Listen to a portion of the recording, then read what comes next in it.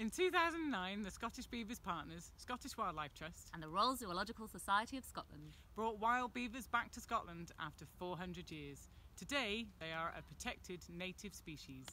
This was only possible with support from others, including Scottish Natural Heritage, Forestry and Land Scotland, the Heart of Argyll Wildlife Organisation, Biffa Award, and players of the People's Postcode Lottery. Beavers can play an important role in tackling the crisis facing nature, and we will continue to champion a bold vision and positive future for the species in Scotland.